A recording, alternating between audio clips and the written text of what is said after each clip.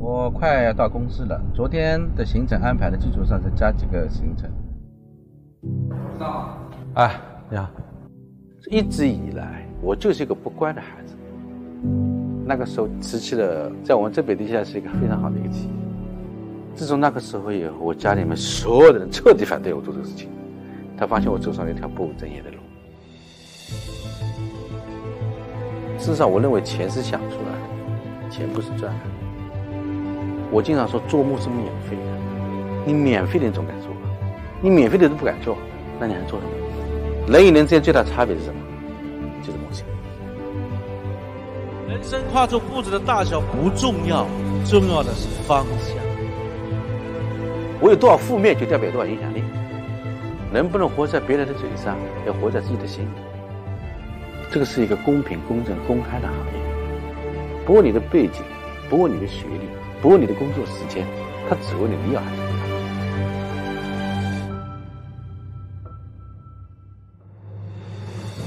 成功，我感觉百分之十是有运气的，百分之九十是他靠他个人的一种认知的。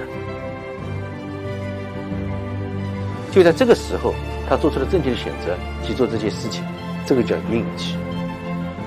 你只要敢做，或者你只要敢想，他就有可能。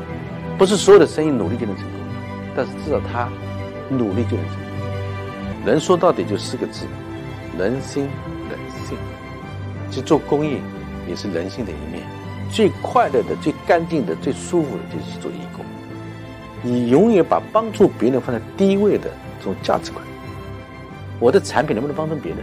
我所有做的一切能不能帮助这个社会、帮助这个国家？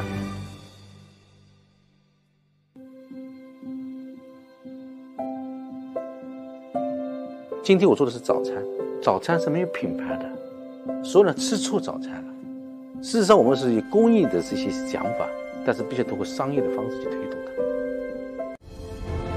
梦想跟圈子百分百的关系，人这一辈子就写三样东西。要选对伴侣，选对老师，选对圈子。